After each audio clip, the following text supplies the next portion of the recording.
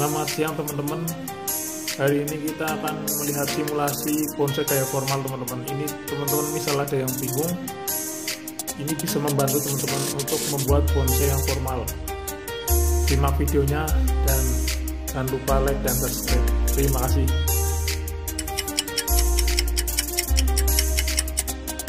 Ini dari tunggul ya teman-teman.